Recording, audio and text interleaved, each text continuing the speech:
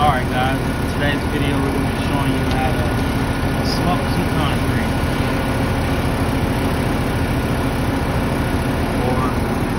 Or should I say check the slump of your concrete. So this truck just arrived to the job site. As you can see the entrance is there and the pump is over here. He's waiting to pour out next. So while he's waiting, we're gonna check his slump and make sure that his slump is what the customer requested. First thing first, cut this water on. Make sure it's pressurized.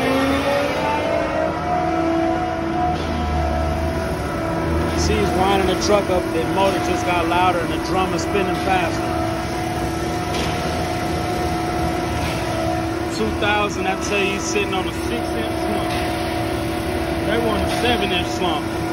So we gotta add some water.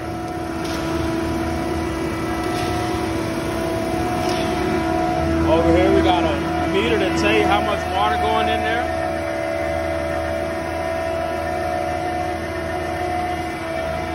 But you can't always trust the meter.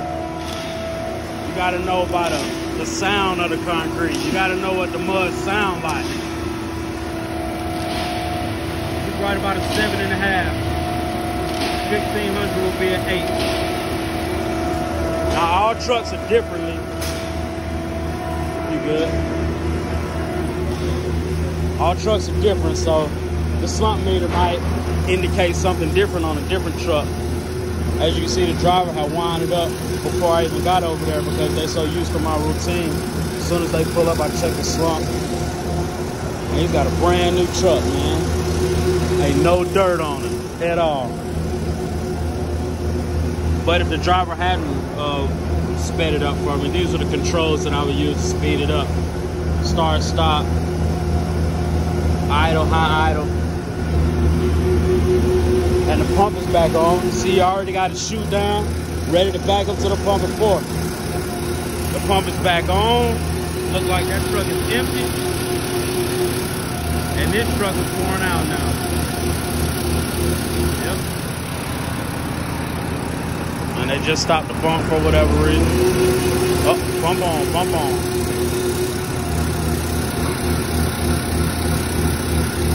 Oh yeah, guys. But that's how you add some water to a load of concrete.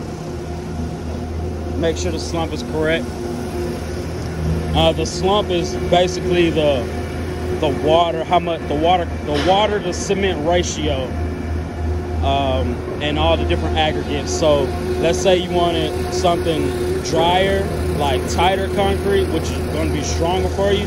That would be a lower slump, like a two inch, three inch slump. If you wanted something wetter, like if you're pouring a wall or something like that, then you want a seven inch slump, eight inch slump, or a big commercial project like this, always pour on a seven, eight inch slump. All right, guys, I hope you guys enjoyed, and if you did, please subscribe. Have a good day.